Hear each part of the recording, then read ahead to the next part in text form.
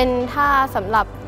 ถักป้องกันตัวค่ะ แบบฝึกว่าผู้หญิงจะสู้ผู้ชายได้ไหม ถ้าผู้ถ้าถ้าเราสู้ได้ก็ถือว่าเราสู้กับคนอื่นได้อารมณ์ประมาณนี้ค่ะ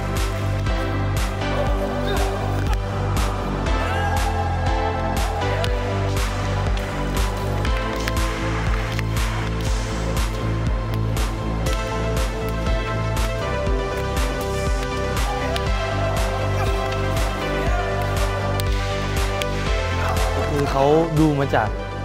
าภาพยนตร์ดูมาจากภาพยนตร์ดูมาจากสื่อต่างๆ และอีกเรื่องหนึ่งคือเขาก็เอาลูกเล่นต่างๆ มาผสมผสานกันเอาไหนลองไปอลองฟันไปทางนี้ซิไปทางนี้ซิมันจะเกิดลูกเล่นใหม่ๆขึ้นมามันทำให้กระบี่กระบองมันไม่มีที่สิ้นสุด